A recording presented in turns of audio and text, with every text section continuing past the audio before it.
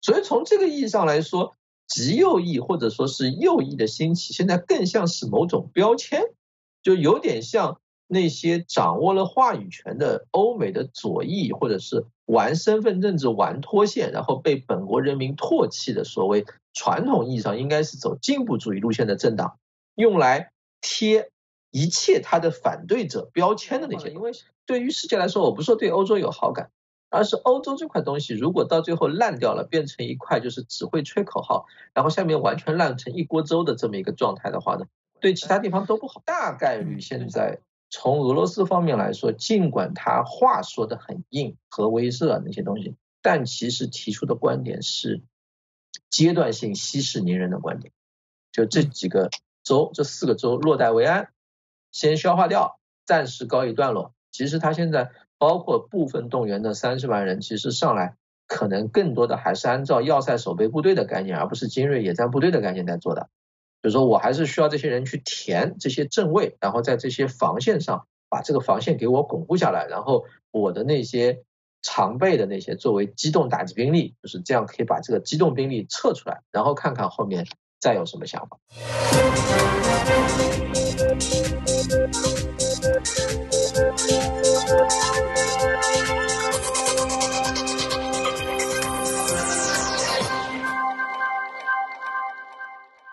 谈到欧洲，我想把话题稍微转一下，转到另欧洲另外一个国家，最近也受到很多人的关注，那就是意大利。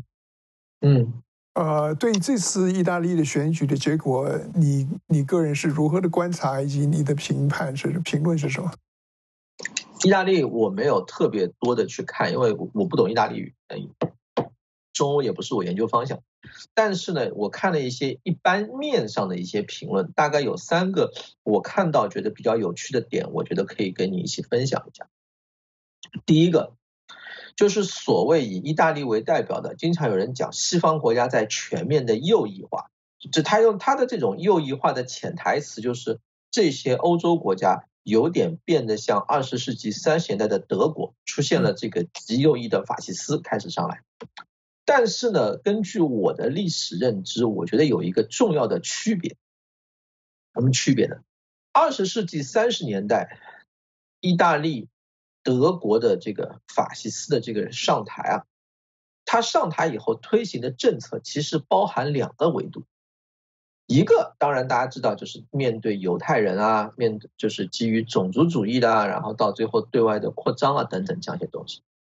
但是更重要的是。他上台的时候，他是推行了一套特有的纳粹特色的经济制度，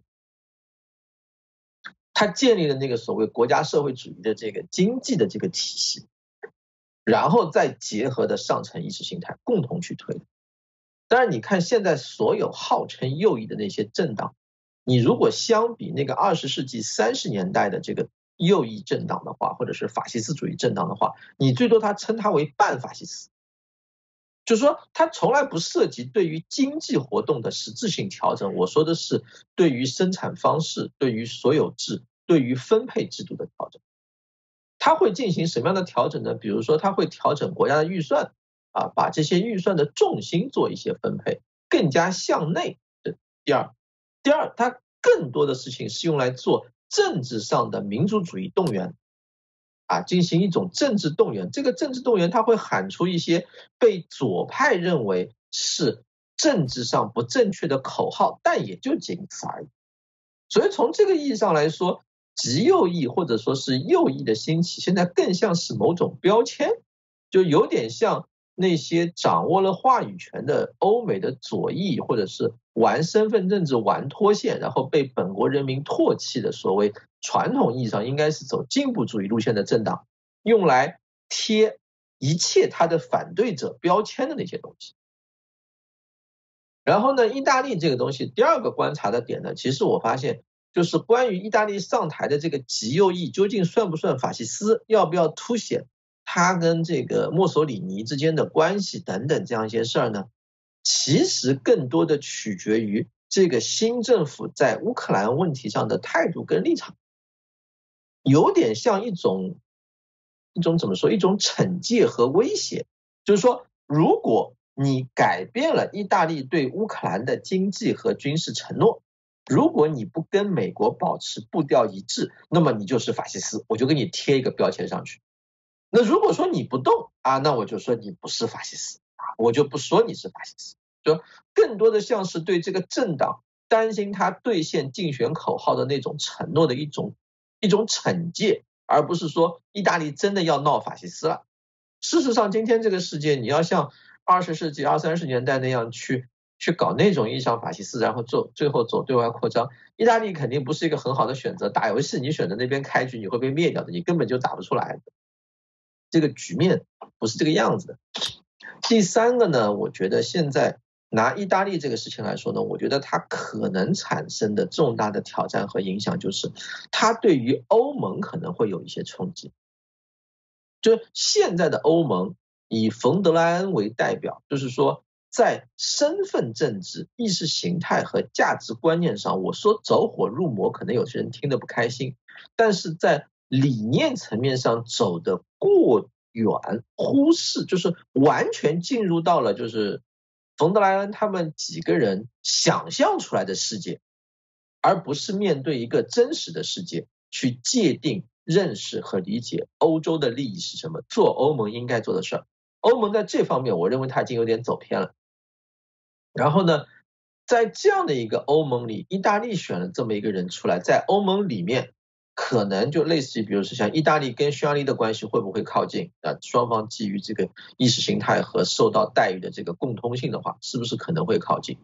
然后意大利会不会公开去冲击和挑战欧盟？现任以冯德莱恩为代表的那批人的权威，甚至在一定程度上，他所谓的退出欧盟没那么夸张，但是在政治上背革一下欧盟内部的决策程序等等，不不一定在涉及俄罗斯跟乌克兰的问题上，但在一些别的，包括像天然气的一些问题上面，他做一些动作，我觉得是完全有可能。这个意大利这个事情以后的发展呢，啊。我我个人的观察，就是因为我对于意大利的事情也不了解，但是我观察这个事情，因为主要也是西方媒体他对这个事情的注意嘛，引起我的注意，然后就看西方媒体对这个事情的反应，然后又根据了我对于西方媒体一向的这种不信任，所以我对他的反应，我也有我的反应，啊，基本上和沈老师的看法相相这样的相似，我觉得这个，呃，现在。我所观察到的，我所感觉到的，意大利这次选举的结果，还有他的这位这个选出来的这位是这个首相还是叫总统？有的新闻叫他总统，是总理是吧？总理应该是总理。意大意大利这个是实实权的是总理，总理内内阁多数，他是内阁多数党组党，然后是总理。嗯哼。反正就是这位女士了啊，我觉得她的很多观点呢，我有机会看了一些她的这个录像啊，这些基本上她的观点代表的是一种，我认为是对于一向而来的这种白左的价值观的一种反扑。很明显，对对，所以你要把它说成这个是什么纳粹或者极右派这种东西，我觉得还不到这一步吧，至少我没看到。对，就我说了嘛，就是说白左，凡是你现现在你去反对白左，他就给你贴一个纳粹的标签，反对我的人就都是纳粹，就就这个样子的，就他们现在就是用这种话术来来怼人嘛，就是这个样子来做。那么对于欧盟以后的这个问题，可能问的大一点，你刚刚也提到了一点欧盟以后的影响啊，因为有人也已经谈到了欧盟可能会这是一个解体的征兆，呃，你的反应是什么？解体不一定走那么远，因为说实话，欧盟现在面临的挑战，其实在某种程度上是欧盟脱胎换骨的一个契机。就说穿了，你让德国、你让意大利从欧盟退出来，他们现在的问题，他们能不能自己单独解决？不见得，不见得。也许德国会好那么一点点，如果但因为你现在。单你在欧盟这个大平台上，你解决不了的事儿，你自己跳出来单干，你然后你周边又被一连串国家围着，然后他们还是组了个欧盟，然后你跟他们的关系还闹僵，其实你会发现，其实他脱不出来。我觉得我比较看好，就是或者说我比较希望看到的是，就是在欧盟内部，就是出现一些相对务实的领导人，就不要整天沉迷于这种白左的口号。然后沉迷这种身份政治，然后认认真真的站在欧洲的立场上，也不用站在别的立场上，就站在欧洲的立场上，为了欧洲的利益做一些正常政客应该做的事。就你你去你去吹口号，你去讲价值无所谓，你好歹把那边的经济，你好歹把那边像能源安全还有关键基础设施这些东西脑子搞搞清楚，就不要整天去弄一些莫名其妙的事情。这样一来的话呢，因为对于世界来说，我不是说对欧洲有好感。而是欧洲这块东西，如果到最后烂掉了，变成一块就是只会吹口号，然后下面完全烂成一锅粥的这么一个状态的话呢，对其他地方都不好。嗯，对其他地方都不好，它会产生很多复杂的外溢效果，这是第一。第二呢，美国可以在这个过程中，在后面用各种方式去赚很多他原先不应该赚到的东西，而且对当当地老百姓来说会是灾难。举个很简单例子，你如果到最后欧盟经济不行。政府治理能力不行，整个社会局势很那个的话，欧洲那边最出名的一个问题就是跨国人口贩卖啊，会出现大量的这种跨国有组织犯罪，会急速上升的。贫困这种经济垮塌带来的这个阶层塌陷带来的这个社会动荡之后，它这个像人口贩运和器官转卖这个东西马上就上去了。这种跨国有组织犯罪在欧洲会变成一个犯罪天堂的，这个对全世界来说都不是一个好消息，所以。希望就是德国，希望德意大利这些欧洲国家能承担起自己的责任，在欧盟框架下把它搬回到正常轨道上，这是至关重要的。我如果这么问的话，你同不同意？像意大利这种状况、这种征兆，以及德国现在面临的情况，以及我们节目一开始谈到的那些一号、二号的这个这个情形啊，发生这件事情的背景啊。有没有构成到对于欧洲未来情况的一种伤筋动骨的地步？至少给他们的一个震撼冲击。理论上，那帮人如果脑子不傻的话，就知道现在是是是时候认认真真去做一点人事了。哪怕你不是说从此改弦更张，但至少从现在开始到这个北溪的相关气管修好之前，你就不要再去做那些莫名其妙自己抽风的事情。在过去试镜，就在这个漏气以后二十四小时到四十八小时的时间内，我觉得就是从漏气开始到现在吧，我觉得就欧洲的表现来看，冯德莱恩第一次表现的像个人了，就像一个他这个职务上的政客，就说我们要这个做出严肃的反应的这种对于这个的攻击是不可容忍的，就是说的这几句话还比较像人话，不像不再像他以前说的什么你去找莫斯科什么，他的这次没有张口就来莫斯科。呃，这一定是莫斯科干的，我要跟莫斯科去拼。哎，你你就会发现，这次他好像稍微正常一点了，没有没有没有那么偏执，他也没有第一时间跑到乌克兰去说啊，你看，因为我这边天然气管道被炸了，我要跟乌克兰坚定的站在一起。他也没有说，他说我们要先调查。我想所以心里心里知道了，心里有数了。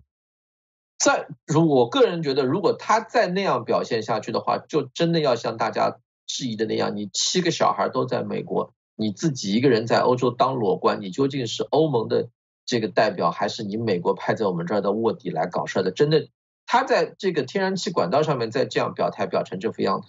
像他原来那样不着调的表态的话，真的要真的要引发这方面的质疑了。这个不开玩笑的，因为这个东西生死攸关的事情，对欧洲来说真的是生死攸关的事情。再谈一件和欧洲有关的事，就是在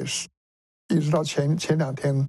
都是大家非常关注的事情，就是关于这个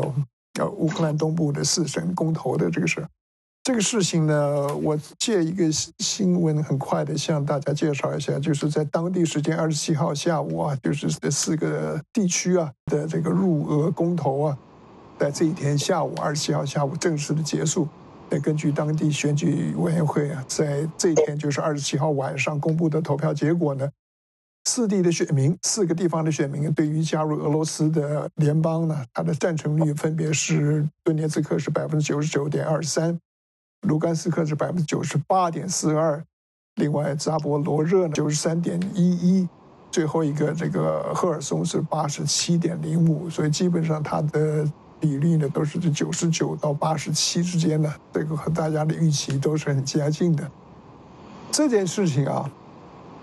再加上这个普丁啊，他他前一阵子所发表的这些这些言论呢，整个加起来看，这个事情对于整个的第一个这个局势战争的局势会怎么样？第二个就是对再讲到欧洲，对欧洲会有什么样的影响？我的理解就是，先实际上你看那个局势嘛，先是这个乌克兰反攻，对吧？在在哈尔科夫和赫尔松两个方向反攻，赫尔松基本上没怎么推动，但是哈尔科夫基本上吃掉了。现在那边还有一些围绕利曼那条线还在打。之所以打利曼嘛，因为他们可能放掉放弃了库比扬斯克还是什么，就是那个库比扬斯克是属于哈尔科夫州的，那他们就严格的退到那个卢甘斯克和顿涅茨克境内。然后好，接下来俄罗斯部分军事动员，部分军事动员的同步开始启动